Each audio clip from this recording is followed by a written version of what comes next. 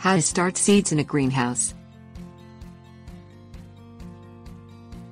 A greenhouse, whether it's a small one on your windowsill or a large freestanding glass house, provides warmth and humidity that will help seeds sprout and grow.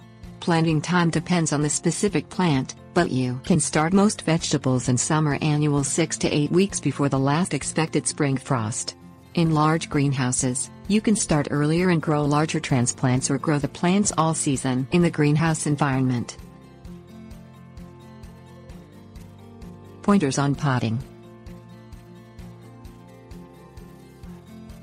The type of seedling pots or trays depends on the type of greenhouse you are using and the plants you are growing. Small windowsill or tabletop greenhouses usually have their own planting tray with a detachable clear lid. Verify the bottom of the tray has drainage holes, and set it inside a second tray to catch any draining water. Trays also work well in freestanding greenhouses or small temporary plastic greenhouses, but you can use anything as a tray and set seedling pots or cell packs inside.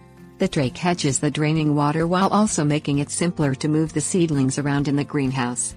If you reuse pots or trays, soak them in a 1 part bleach to 9 parts of water for 30 minutes, and then allow them to air dry before adding a potting medium. For plants that do not like their root systems disturbed, use peat pots or peat pellets, as you then can plant the entire biodegradable pot into the garden. Soil mixes and seed sowing. A well-drained and sterile potting media works best for starting seeds.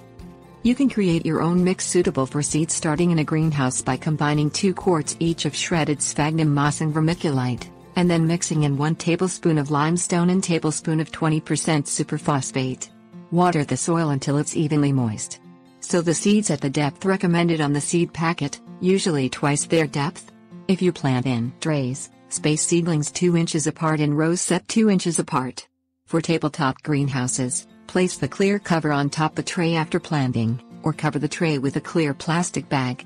Freestanding and plastic greenhouses don't usually require covers because higher humidity is maintained inside the greenhouse structure.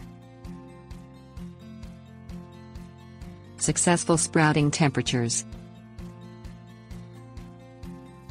Seedlings usually take 5 to 21 days to sprout, depending on the specific plant.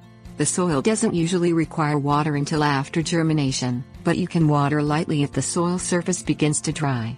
Most seeds require a temperature of between 70 and 80 degrees Fahrenheit to germinate. Seedling heat mats, placed beneath the trays, are sometimes necessary in unheated outdoor greenhouses. Use a thermometer to monitor the temperature in the greenhouse and in the soil so you can maintain it properly.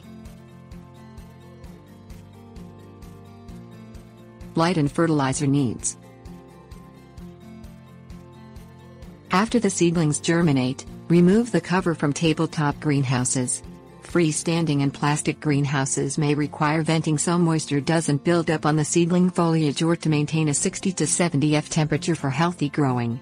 Provide the seedlings with full, all-day sunlight or place them 3 to 4 inches beneath a grow light fixture for 14 to 16 hours a day. Seedlings become too tall and spindly when the light system is placed too far away from the pot.